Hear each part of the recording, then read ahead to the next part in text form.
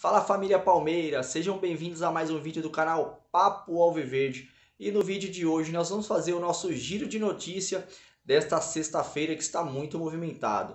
No vídeo de hoje nós vamos falar sobre o Abel Ferreira, sobre o Danilo, sobre Lucas Alário, sobre Copinha e a apresentação do ato extra, tem muito assunto. O vídeo está imperdível, mas não se esqueça dos três passos que são muito importantes, que o primeiro é se inscrever no canal, segundo é deixar seu like e o terceiro é ativando o sininho de notificações. Assim vocês nos fortalece demais no nosso trabalho aqui, nos nossos vídeos diários. Tamo junto e ó, sem mais enrolações, vamos falar do nosso falar sobre o nosso treinador Abel Ferreira, né? E a chegada do zagueiro Murilo, que o Palmeiras apresentou recentemente, foi única e exclusivamente opção do treinador. O Palmeiras que até então negociava com Carlos Salcedo, do Tigres do México. Nesse meio tempo apareceu a oportunidade de trazer o Murilo, do Lokomotiv Moscou. E quem deu a palavra final foi sim o nosso treinador Abel Ferreira. É, em reunião com a torcida organizada, Leila Pereira deixou bem claro que a chegada e a saída de atletas passa sim pela comissão técnica e pelo treinador. Então o Abel Ferreira tá mandando tudo. Espero que ele tenha acertado em ter escolhido o Murilo no lugar do Salcedo. Murilo é mais jovem, é muito bom jogador também e vamos apoiar esse novo zagueiro do Verdão. E o Palmeiras venceu o Mauá pela segunda fase da Copinha lá em Diadema, né? 4 a 0 show do Verdão. E os gols foram marcados pelo Fabinho, pelo Garcia, pelo Vitinho e também pelo Kevin, um golaço de fora da área.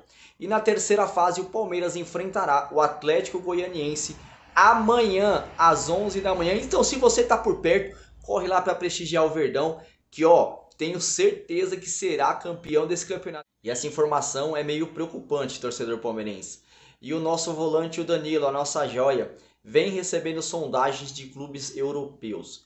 De acordo com informações, o portal O Lance já tinha divulgado semanas atrás a sondagem do Arsenal e agora também do West Ham. De acordo com o portal, o seu staff já recebeu sondagens e os valores se aproximam de 25 milhões de euros.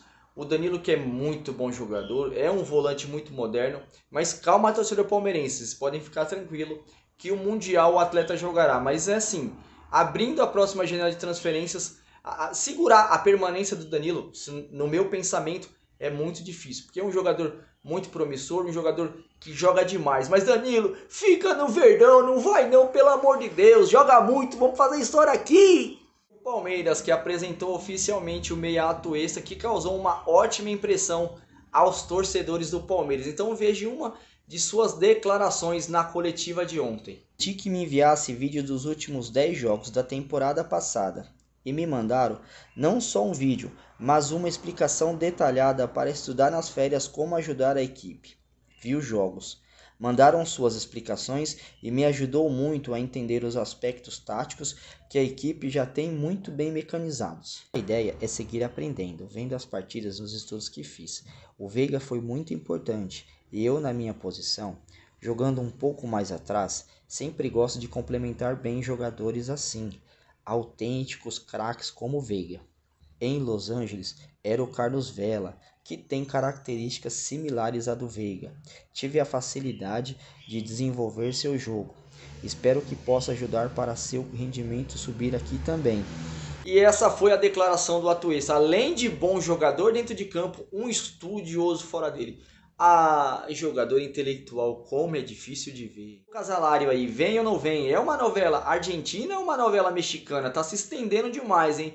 E quando se estende, a gente sabe que é complicado. O Palmeiras não consegue efetivar suas contratações. Mas essa contratação do atacante argentino, que atua hoje pelo Bayer Leverkusen, está muito próximo. Então a gente espera que nos próximas horas ou nos próximos dias também o Palmeiras consiga efetivar a contratação do atacante e veja a informação do GE, que é muito importante. Acompanhe aí na tela. A negociação entre Palmeiras e o staff de Lucas Alário teve avanços ontem, mas ainda não está concluída por conta do Bayer Leverkusen. O clube alemão não deu resposta definitiva sobre a proposta de empréstimo até o fim do ano. E tá muito perto, espero que o Palmeiras consiga efetivar essa contratação, mas parece que o Bayern, né, não quer emprestar, quer vender logo. Então compra, Leila. Tira o escorpião do bolso e compra o Lucas Alário urgente para jogar esse Mundial. E galera, se você gosta dos nossos conteúdos, se inscreva no canal, deixe o seu like e ative o sininho de notificações, porque a sua participação, ei, você que tá do outro lado, é muito importante. Tamo junto, ótima sexta, que Deus abençoe a todos e avante palestra!